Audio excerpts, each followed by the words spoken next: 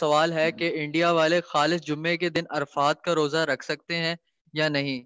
क्योंकि वो 75 ईयर्स के बुज़ुर्ग हैं और दो दिन रोजा रखना मुश्किल है, हो रहा है तबीयत की वजह से।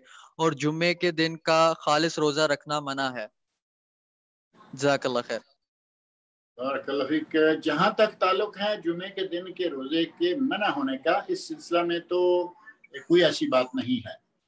क्योंकि अगर वो अरफा के दिन को जुमे का दिन समझ के रखते हैं तो कोई हर्ज वाली बात नहीं तन इसी तरह दस मुहर्रम जुमे को आ जाता है, रख ले, कोई हर्ज नहीं।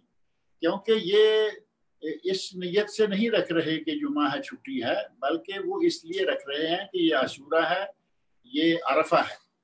इस तरह वो जो एक शक्ल बताई गई ना कि जुमे को रोज़े के लिए, दिन को, रोज़े के लिए, रात को इबादत के लिए खास ना करो, इसमें वो नहीं आता। ये एक अलग से मसला है कि उन्होंने अरफा का रोज़ा समझ के रखा, उन्होंने अशूरा का रोज़ा समझ के रखा।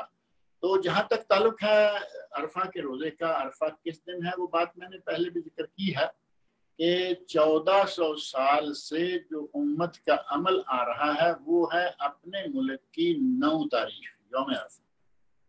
अपने मुल्क की India Pakistan Bangladesh Indonesia America Africa Canada जहाँ का भी कोई है, उस मुल्क की तारीख के हिसाब से नौ जुलहज को हमेशा से लोग रोजा रखते आ रहे हैं।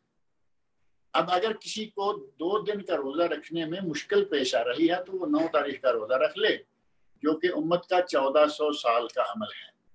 और अगर किसी में थोड़ी सी हिम्मत और भी है तो इस इख्तलाफ से निकलने के लिए आठ और नौ दो रोज़े रखे तो स्वाब जो है वो इनशाला दो गुना हो जाएगा, बहुत स्वाब बढ़ जाएगा।